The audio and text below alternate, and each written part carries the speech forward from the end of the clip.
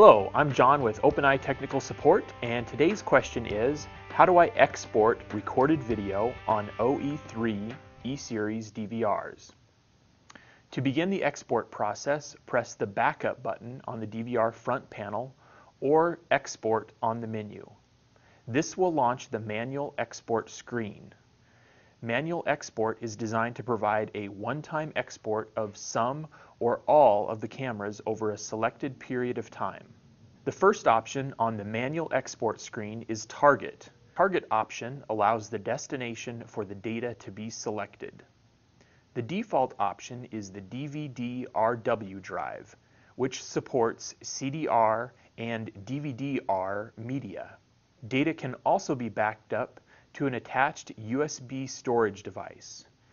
USB storage devices must be formatted using the FAT32 file system and can be a maximum of 2 terabytes in size. To format a USB device, simply select the Format option. E-Series DVRs can format USB devices up to 32 gigabytes in size. If a larger device is to be used, a utility is included on the accompanying software disk that can format devices up to 2 terabytes in size. It is important to note that formatting any device will result in the loss of all existing data on that device. Next, select the From and To range. Any time and date can be selected as long as the From time is before the To time, and the range is within the range of data recorded on the DVR. The next option is the channel selection, which allows the desired channels to be selected for the export process. Check the box next to All to select all channels, or select a single or multiple channels as needed. The recording start and end times show the oldest and newest recorded data on the DVR. This reference is useful in ensuring that a date outside of the range of recorded data is not selected. Select Estimate and the amount of space required to export the media will be displayed next to Required Space. Free space will display how much space is available on the export media. This number needs to be larger than the required space. Finally, export will begin the export process. If the required export times are not known, search can be used to assist in the export process. Simply locate the first point that needs to be part of the export in the search, then press the backup button. Let the video play until the last point that needs to be in the export is reached, then press the backup button again. After pressing backup a second time, the manual export screen will appear with the selected start and end times already selected, as well as the specified channels that were viewed during the search. E-Series DVRs also offer automatic backup functionality. Auto USB backup is designed to offer a level of redundancy and additional storage option by allowing data to automatically be backed up to a USB storage device. The auto export runs just behind the data recorded on the DVR's internal drive, so the export will always be up to date.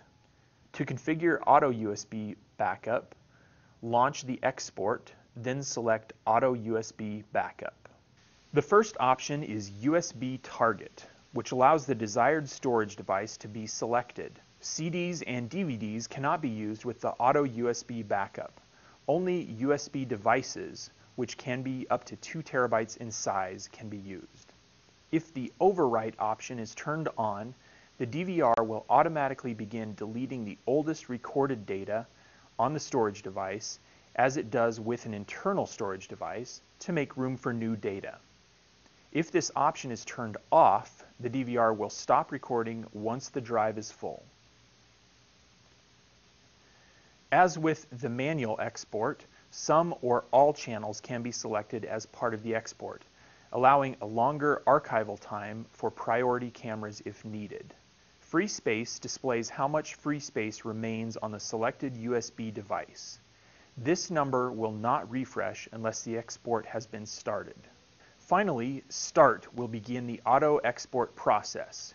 If a USB device needs to be removed during an export, remember to stop the process using the stop button before disconnecting the device. The easiest export method is instant backup. To use this function, simply insert a USB drive, CD, or DVD and press the red Instant Backup button. This button exports all cameras for up to one hour of the most recently recorded video. The duration and default media can be modified by the DVR administrator in the Record Setup under the Instant option. All exports from E-Series DVRs are done in the native proprietary format of the DVR. This ensures that data has not been modified and keeps the time required to back up data to a minimum since no encoding is required. To enable playback of this proprietary format, the Export Viewer utility is included by default in every export. The Backup Viewer utility will load automatically when media containing the export is inserted into a Windows-based computer. To begin playing back data, click Open, select the desired start time, then click OK. After the media has been selected, zoom, brightness, contrast, and playback speed can be adjusted. In addition, all screen divisions are available and video can be played forward, reverse, or frame by frame. In the event that a standard format video is required, the export viewer can export video to AVI format. To save an AVI file, click on a channel, then click on AVI. In the export screen, add a digital signature if needed to prevent file tampering, and a start and end time. If audio recording is available, checking the Include Audio will include that audio with the video clip. Finally, click OK to select a destination and begin the AVI file creation process. For more information on OpenEye's products and solutions, or to view more helpful tutorial videos like the one you're watching now, visit us at openeye.net.